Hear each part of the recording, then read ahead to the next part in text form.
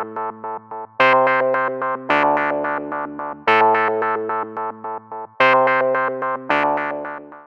right, cool. We are live right now.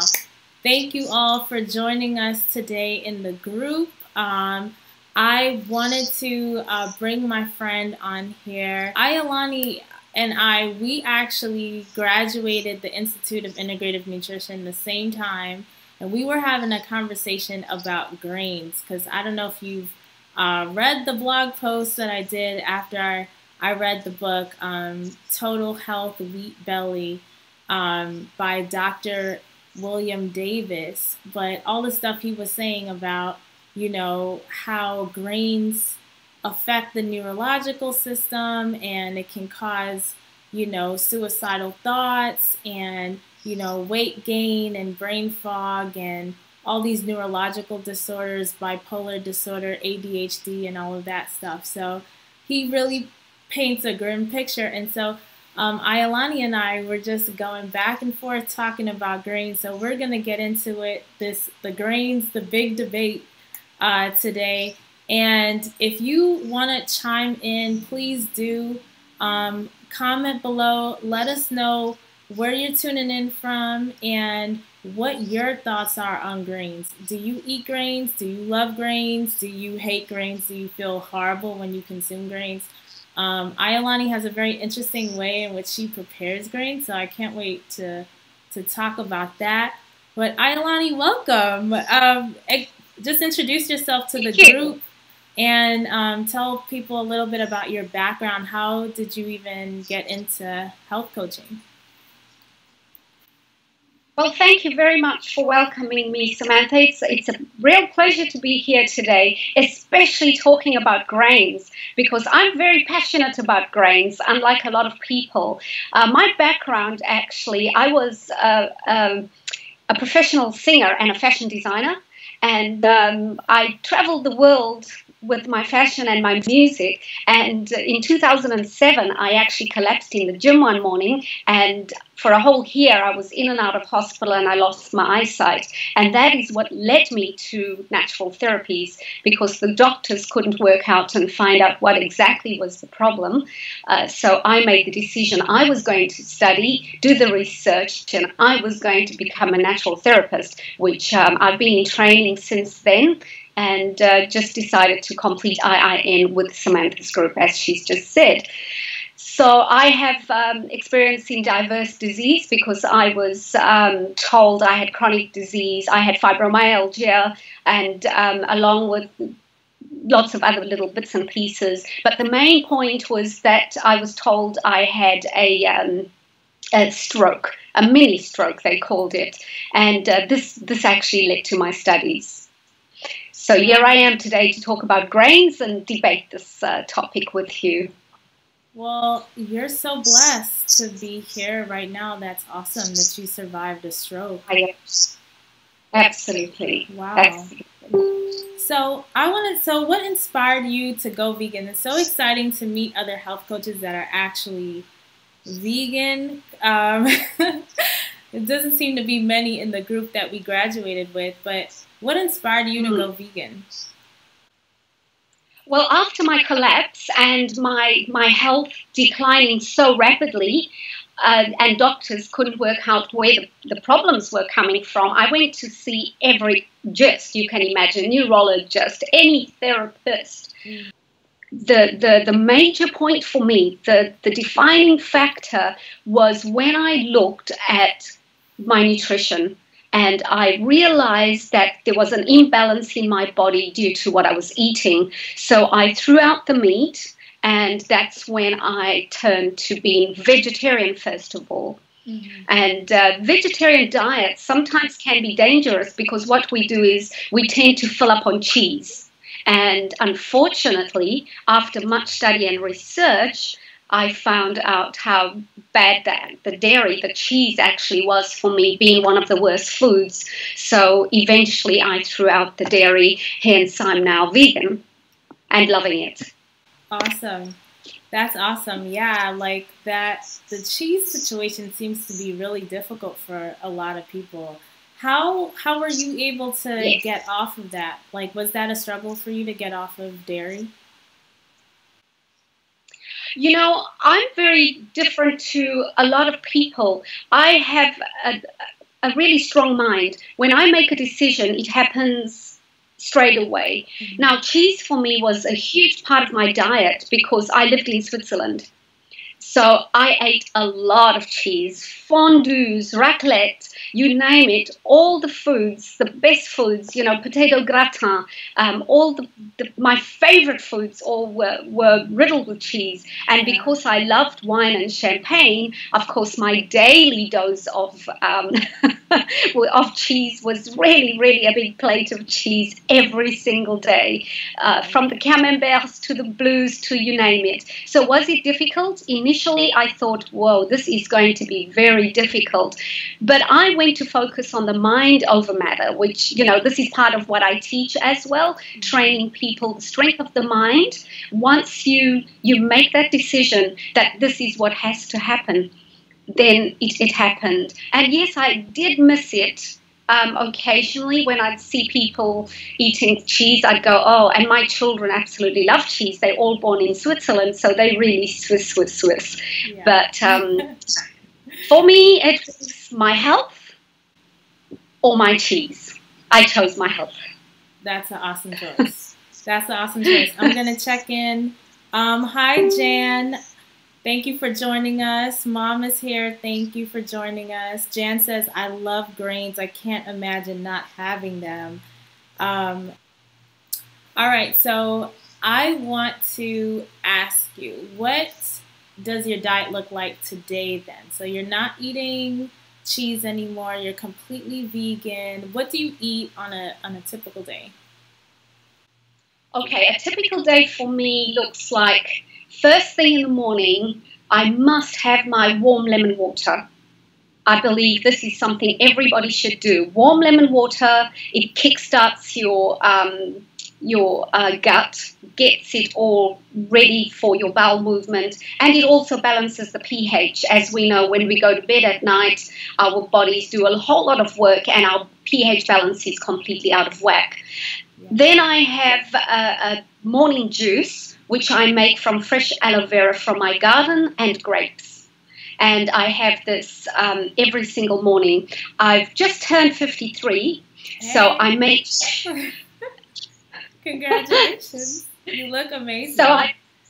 Thank you. So I make sure I have every morning with my morning juice. I make sure I have a um, an iron pill. I'm only doing it now because at my age I'm still menstruating, so I really need to keep up my um, my iron levels.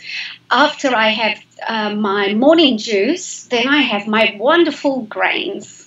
Now, grains for me is a very important part of my diet. I make sure I rotate my grains, but we'll talk about that later. Okay. So I have my grains about probably an hour after my morning juice, mm-hmm. and then I um, have nothing for about five hours.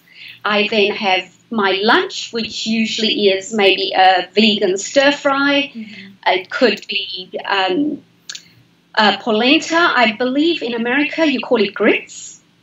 Grits, yeah. Uh, yes. Yes. And uh, I may make it with lentils, or I make a curry, either with rice or with, um, you know, it just depends. Every day is different. Sometimes, if it's hot, I have a really nice big vegan salad. I'll have a vegan burger.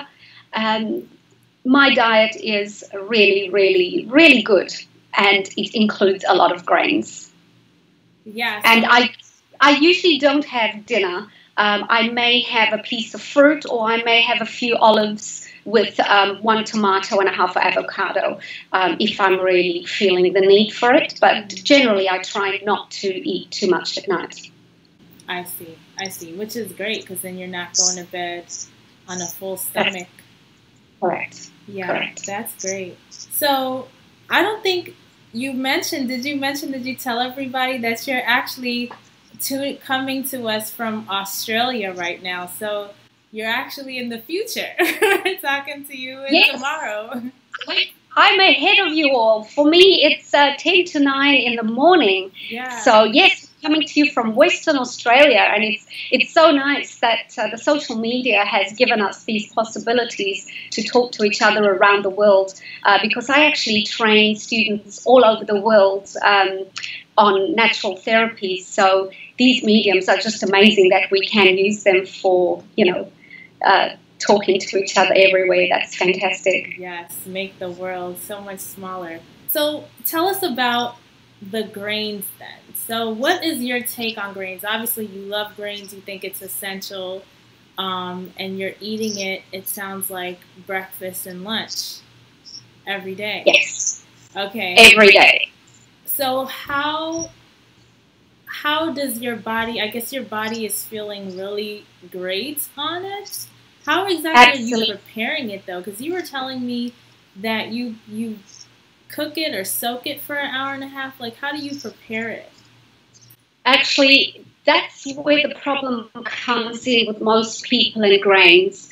Uh, you see, grains, just as much as our nuts are full of phytic acid, we need to soak our grains to remove binds to minerals and uh, in the gastrointestinal tract, and then unfortunately it cannot be absorbed.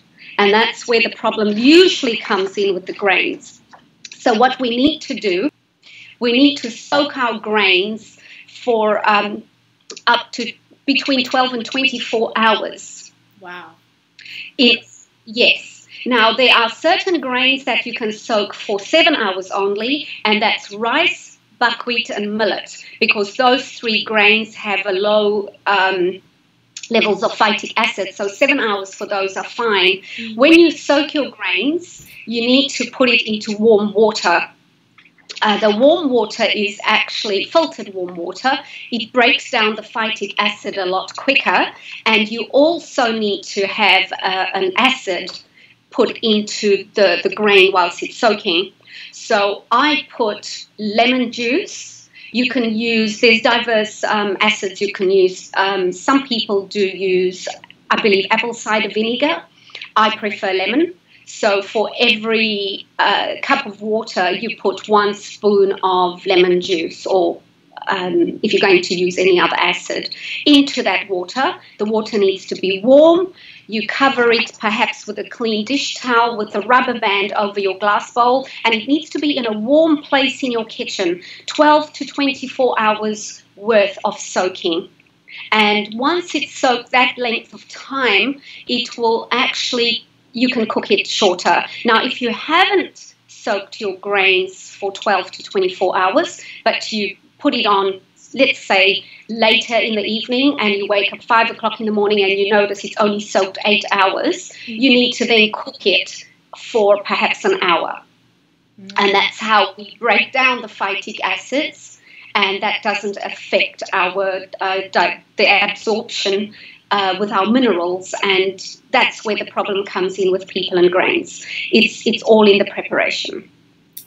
Yes. So this makes total sense to me because it sounds very much like when people tell me they have a difficult time um, going vegan because they didn't get enough protein or um, it didn't work for them, or they just say it didn't work for them. But then you start digging in and you realize, oh, because you're doing it wrong, you know? It's not veganism that's bad, but it's like your methodology is wrong. Um, that's so- exactly right. Samantha, yes. I'm finding with my clients as well, I don't just put them onto a vegan diet. I first educate them as to what a vegan diet looks like, how it's prepared, I then do all the cooking demonstrations. I take them shopping. I show them how to shop, what to look for, and then I take them through the food preparation. And once I believe they know how to do it, then I say, now you, you're ready to change. I just had all my blood tests done uh, probably two weeks ago, and my doctor said, How can it be that at 53, your blood tests are just amazing. You don't have a lack of any any B, B12. Uh, your iron levels are really good, and uh, so is your calcium. And those are the three things they look for when they test for vegans, especially women my age who are still uh, menstruating, you know, like a teenager.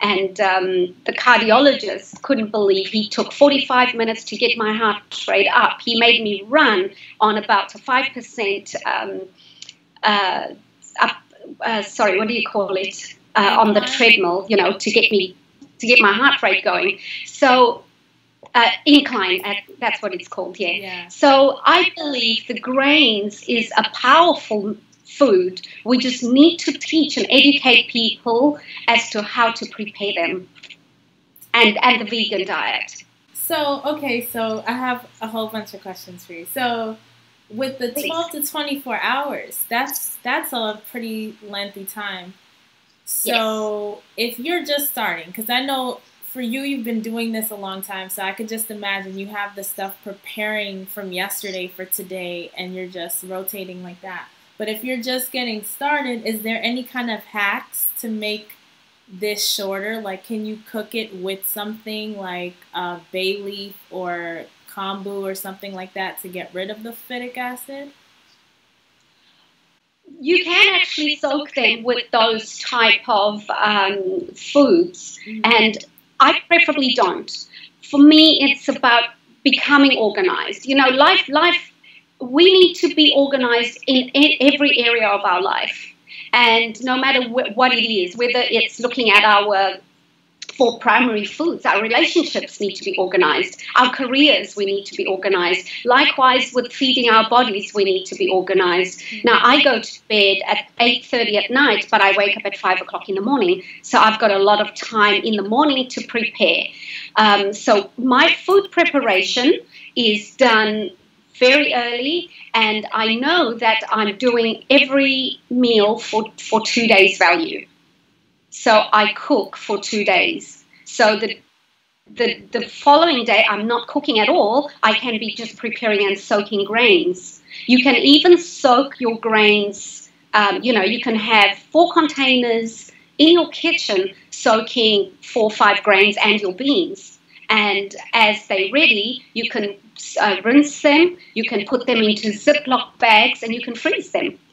And they're ready for just cooking or you just refrigerate it depending on, you know, how much space you have in your, your freezer or your, your fridge. But uh, that's how I prepare my kitchen.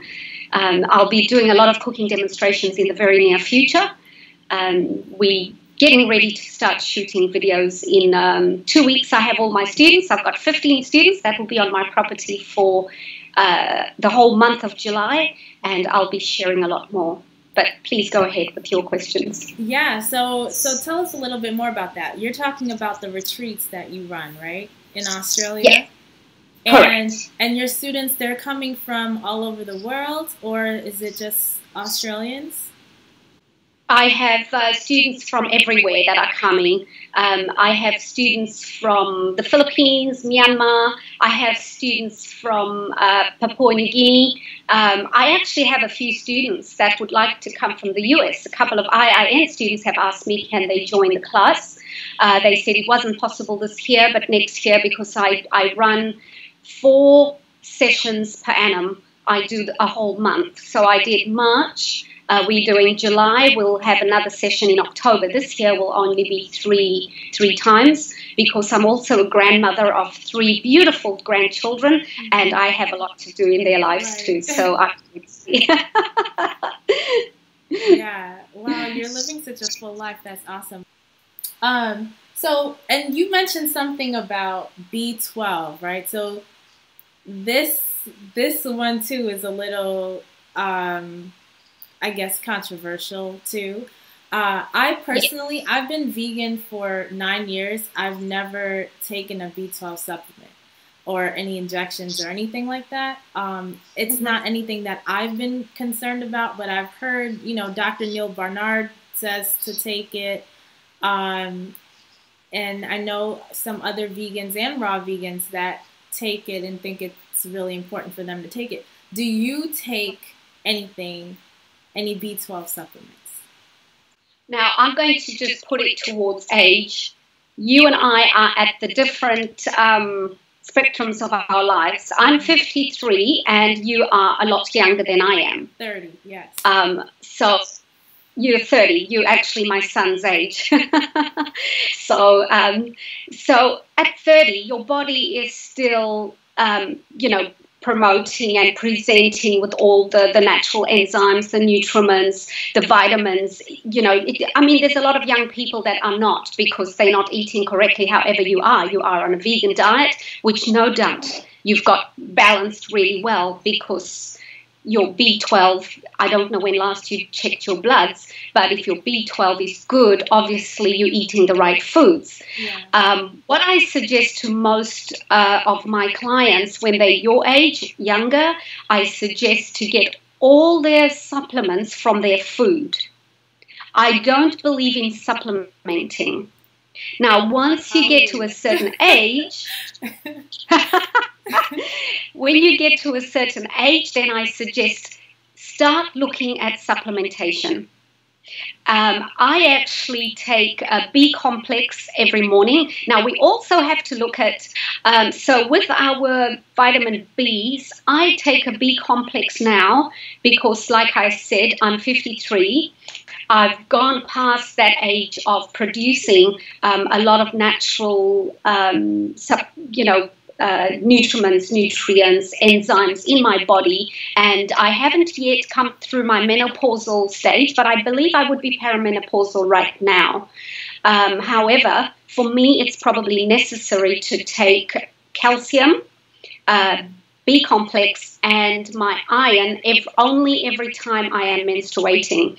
Um, I also started to take a, um, a probiotics. Um, a probiotic, thank you. I've started taking a probiotic now, uh, but we need to be very careful when we take our supplements because supplements um, should be taken at very specific times of the day. So, but your question really was about vitamin B. You don't need to take it if you're actually supplementing with the good whole foods. I don't believe we need to supplement, but age factor and look at past life. I, I lived on a pretty poor, well, it wasn't a poor diet, but it was high animal protein. I used to be a bodybuilder, soft body, so I did a lot of bodybuilding and I ate a lot of meat and a lot of salmon, and we all know those are the worst foods for us. But anyway. Yes, okay.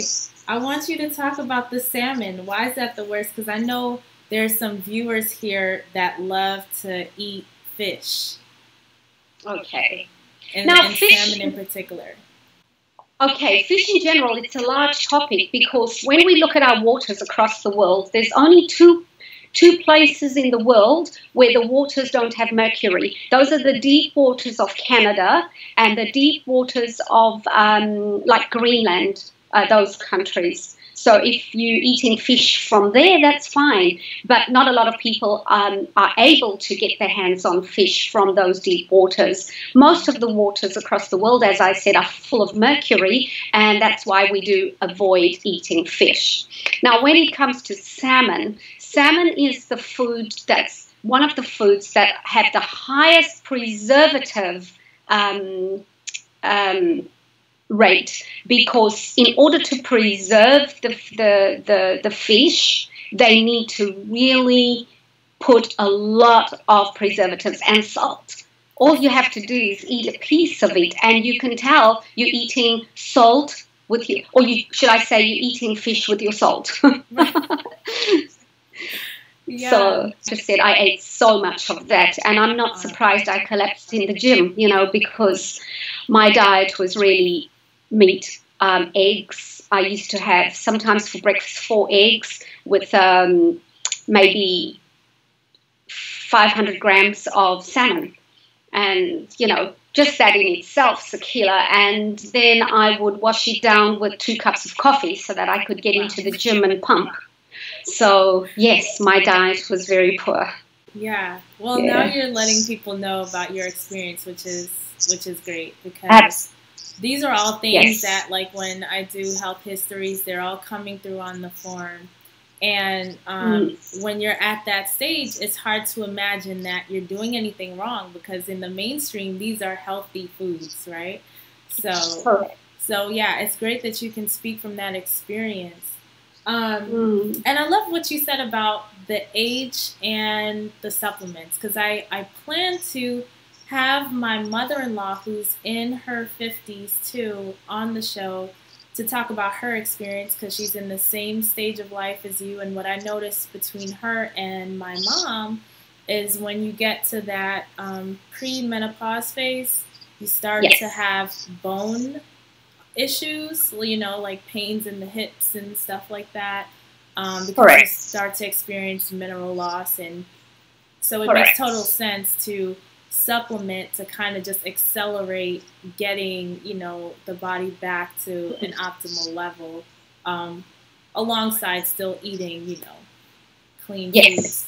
This this whole topic of grains i like the fact that you you know you bring in your experience from it. You're not having any issues because basically you're soaking it for a day which i know most people are not doing that Yes. You know, yes. And um, but and to you, cooking it for longer periods of time is not going to do anything. It really just needs to be soaked in that phytic acid and water needs to be drained off and then cooked at that point, right?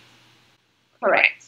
Yes. And I would That's assume then the cooking is is a lot shorter at that point. Then cooking is a lot shorter like I said, if you don't soak your grains, you really need to cook. For an example, rolled oats. If you don't soak your rolled oats, you really need to cook them for perhaps an hour. I, if I forgot or have been really busy and I wake up and I go, oh boy, I haven't soaked my grains, and I look through my packs and there's no more soaked grains, um, I would cook rolled oats for approximately an hour, 45 minutes, two hours. Wow. As long as that, yes. Wow. On a very slow heat and just slowly cook it up. Um, but, you know, grains, um, I suggest people actually look at. Um, I'm writing some blogs at the moment on grains, but Dr. Barnard talks about grains a fair bit. I noticed you did mention his name, and I love the things he says about grains. Look at the comparison they did, the studies with Japan.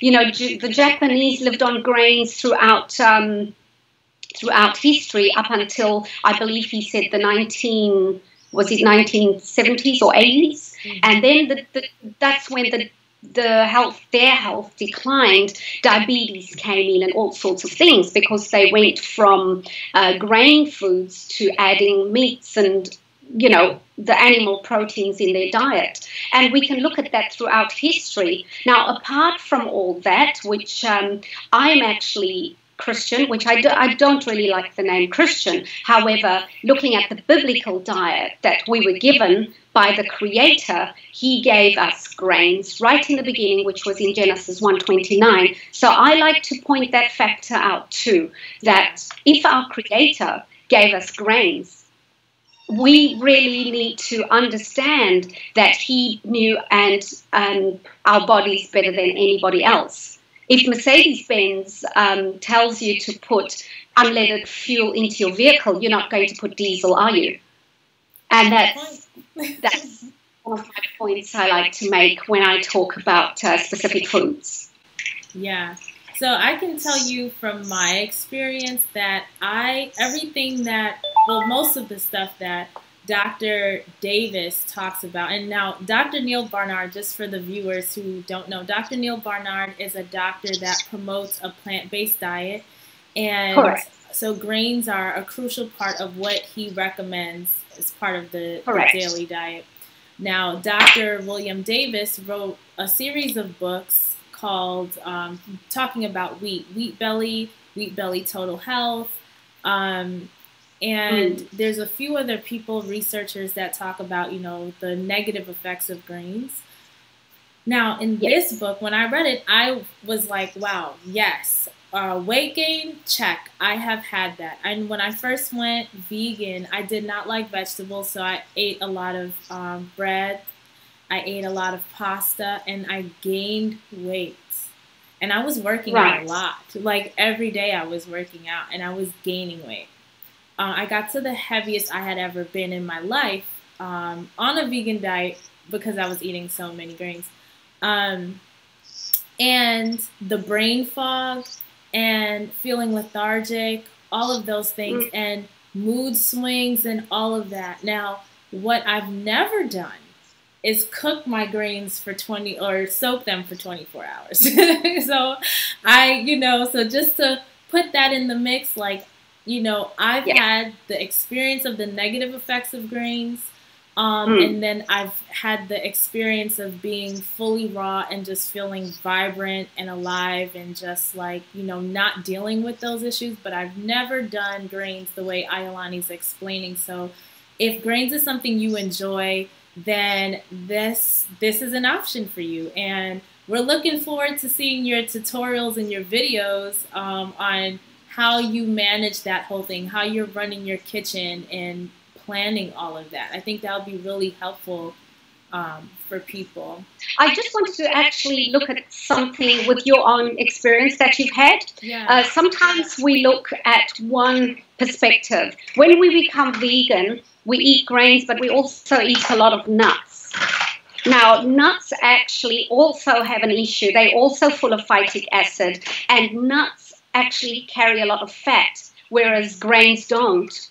So I'm wondering if you did actually look in detail to where your health was at. Did you look at every um, thing you were eating? or did you just go straight to grains? Because to me, it sounds like a lot of experiences I've seen already where vegans go full out for nuts, and nuts are full of phytic acid and also need to be.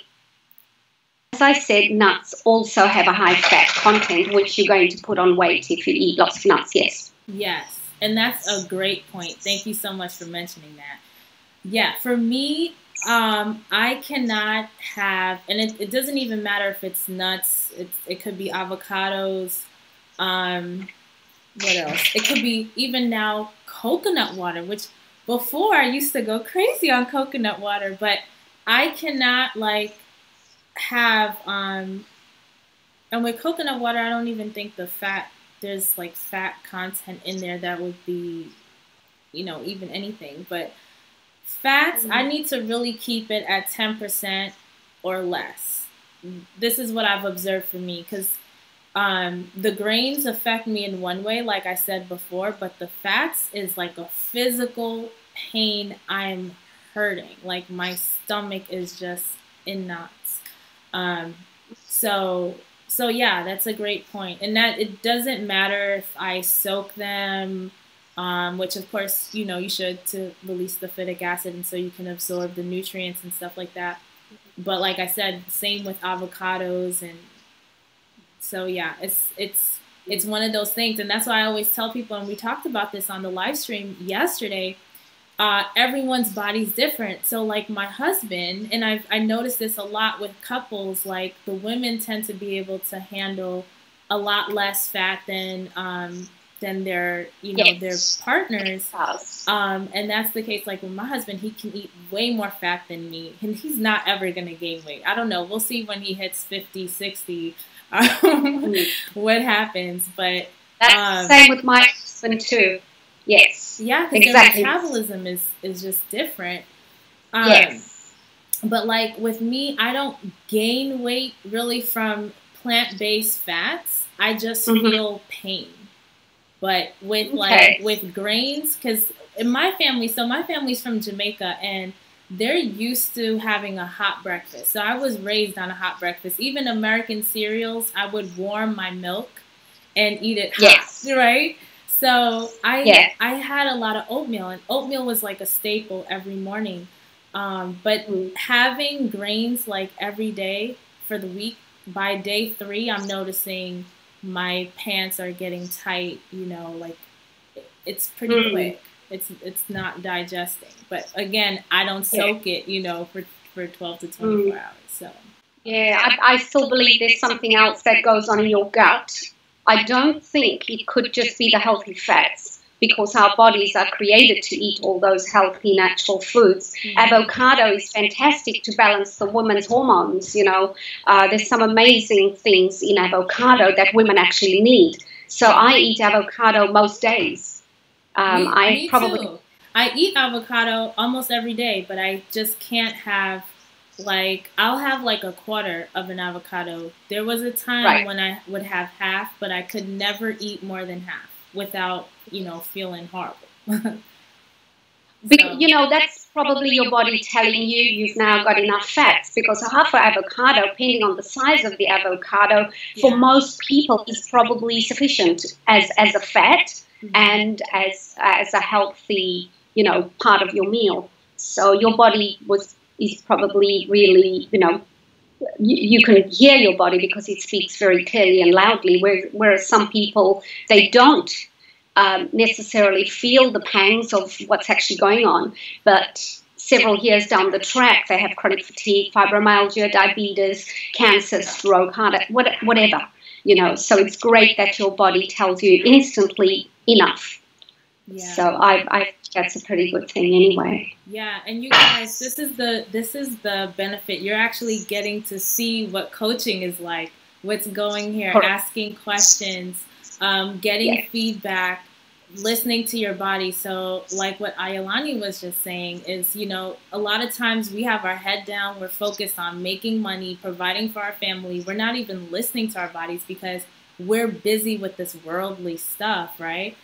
And yes. so you, a coach just helps you to kind of tune in. Okay, well, what was going on there? What was happening there? So you can, you know, just help you to connect the dots. And your body, everyone's body is unique. So, you know, what works for me, yes. even though Ayolani and myself, we're both eating plant based, how we're eating mm. is different.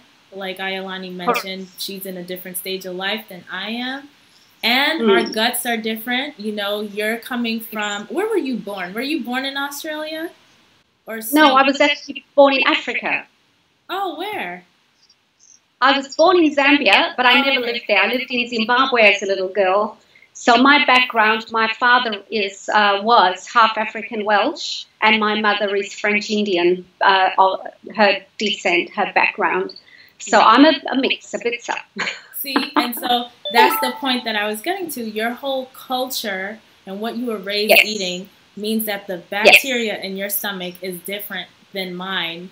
Um, like like with my family coming from Jamaica, they don't eat a lot of fermented foods. They rarely do. Maybe sorrel, but the way they make it, I don't think that would even really be considered fermented. And we they only really drink it around like Christmas time. But like my husband and his family, Correct. they're from Poland. Sauerkraut and all this other stuff, you know, they're used to eating a lot of fermented food. So their gut bacteria is going to be different, you know? Totally different. Yeah. And that's right. That's why we, we need to be very conscious, especially when we marry mix. My husband is, um, he's Australian, but born in Africa of English descent. But was as a baby eating Indian and African foods. Mm-hmm. So his body and my body have a very similar beginning, um, which makes it very easy for me to feed us both. And then as an eight year old boy, he was in the UK eating all the English foods. Now, I was raised in Zimbabwe, which is an English colony, so we had the mix of those foods too. So definitely we need to go back and look at our beginnings, our cultural backgrounds and feed. And that's what I talk to my clients about too. It's not because um, you in Australia, I've got quite a few students from Myanmar. Now the Myanmar people were used to rice, like the, the Asian, a lot of rice and vegetables. And uh, in Myanmar, it's a you know a, a country where that's that the meat was very expensive, and then some of them moved to um, Singapore or Malaysia, and that's when they started eating a lot of meat, and they found that they're not sure why their health is declining. So I had to uh, educate them as to well, you started off with this diet, you continued on a different path, and now your body is really saying, I don't want that, I don't want that. so, yes. But just going back to grains, which was our topic, uh, there is about 1% of people in the world that are um, celiac. So we need to consider those people as far as grains yeah. are concerned because the gluten is going to be a problem. Uh, there's between 7 and 9% of people in the world who are gluten intolerant. However, they can eat um, certain uh, grains but not gluten. So there are people who, who have those issues. My retreat is actually, I serve uh, gluten free foods as well and I do cook in separate pans and pots for the gluten intolerant, for the celiacs, etc. So we need to be mindful that some people definitely cannot have um, the grains, and that's a very small minority, as I said, approximately 1% people of the world, and 7 to 9% people that can have grains but cannot have gluten. I hope you guys enjoyed this video. This is a conversation Ayolani and I had um, on a live feed in my Facebook group, the Raw Food Health Empowerment Circle. If you're interested in being part of the group, um, there's a link in the description box below so you can request an invite. And if you love grains, you've heard and learned some helpful tips on how you can continue to eat grains and possibly it won't cause all the detrimental effects that Dr. William Davis talks about in his book, Wheat Belly Total Health.